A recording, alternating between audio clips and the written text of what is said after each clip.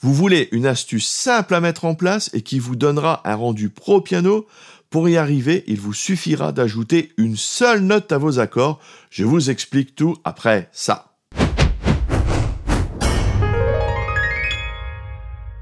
Bonjour, je suis Ludo, fondateur du site lesfousdupiano.fr et aujourd'hui, je vais vous révéler l'arme secrète qui peut transformer votre jeu. Ces accords ajouteront une couleur unique à votre musique en dégageant des sonorités riches et captivantes. Voyons tout d'abord comment former ces accords. Alors, regardons comment former ces accords add 2. Donc, add, se dire tout simplement qu'on ajoute une seconde. Donc, par exemple, si j'ai l'accord de Do, eh bien, une seconde, eh bien, ça va être la note juste à côté du Do, Ré. Je peux donc avoir Do, Ré, Mi, Sol. Là, j'ai un accord de Do add 2. Voilà, tout simplement. Maintenant, euh, si je pars par exemple sur un accord de Sol, eh bien, la seconde après le Sol, c'est le La. J'arrive donc avec Sol, La, Si, Ré. Vous allez peut-être me dire, ouais, c'est bien beau ton truc, mais tu as des notes qui se touchent est-ce que cela pose problème? Non, cela ne pose pas forcément de problème. Vous pouvez très bien avoir des notes conjointes, c'est-à-dire des notes qui se touchent pour jouer votre accord. D'accord? Ceci étant, euh, on peut donc répartir un peu ça avec la main euh, gauche. Si par exemple vous avez Do à la main gauche, à l'accord de Do, et que je veux rajouter une euh, seconde, eh bien je peux par exemple enlever le Do ici. Et ça va nous donner Ré, Mi, Sol. J'ai toujours deux notes conjointes, mais j'en ai deux au lieu de trois. Ce qui donne une sonorité un petit peu différente, tout à fait possible. Donc là, vous avez la liberté, ce sont les goûts et les couleurs. Hein. Et donc, vous pouvez procéder de même pour n'importe quel accord. la, seconde, on peut en ajouter partout. Ça donne toujours une petite sonorité différente et ça change un petit peu des accords parfaits. Hein. ça rajoute quelque chose de très intéressant.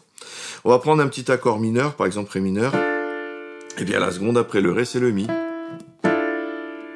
Donc ça marche. Hein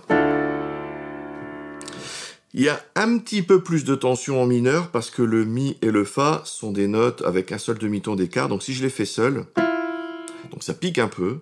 Mais si j'habille avec les autres notes de l'accord, cela passe, d'accord?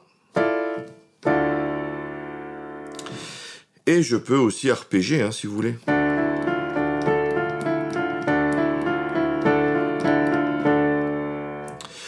Donc cela fonctionne aussi avec des accords mineurs, ça fonctionne avec n'importe quel accord. En pratique, vous pouvez donc ajouter une seconde à n'importe quel accord.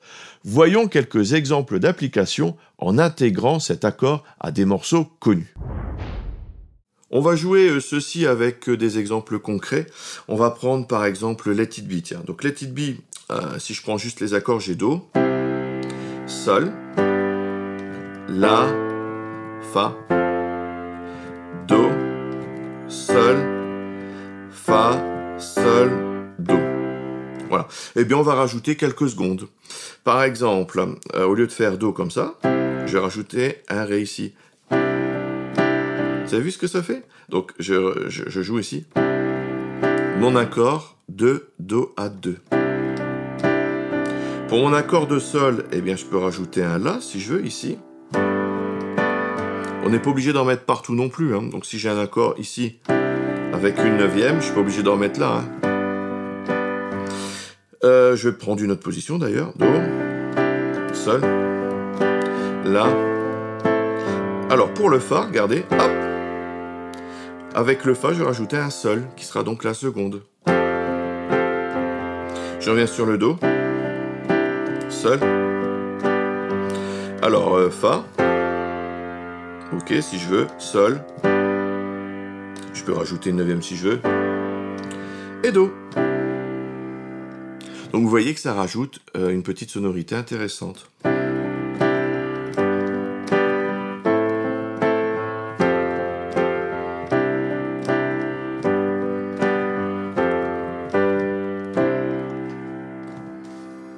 Par exemple. En deuxième exemple, si vous voulez, je vais prendre Alléluia qui, qui est connu. Donc euh, Do, La mineur. Eh bien, je pourrais rajouter, j'aime bien le faire, d'ailleurs je le fais systématiquement quand je joue ce morceau, je rajoute une neuvième.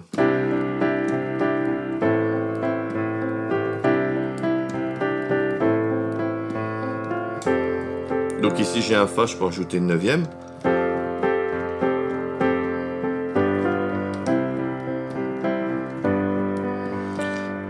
Toujours ma neuvième. Regardez ici, j'en ai rajouté sur mon Fa. Sol. Là. Ici, je pourrais en rajouter aussi une.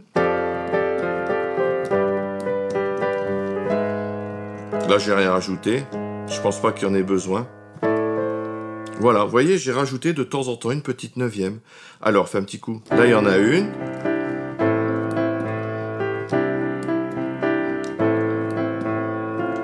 Là, il y en a une.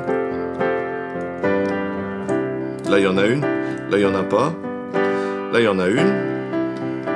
Et là, il y en a une aussi. Là, il n'y en a pas. Je pourrais en mettre une. Là, il n'y en a pas. Là, il n'y en a pas non plus.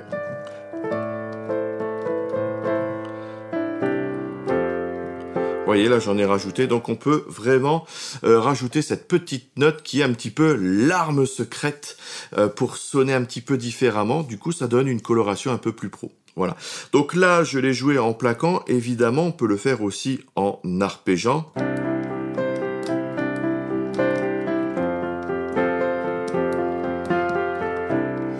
Tout est possible. Hein voilà. Voilà, vous êtes désormais équipé pour ajouter une touche de professionnalisme à votre jeu au piano grâce aux accords AD 2.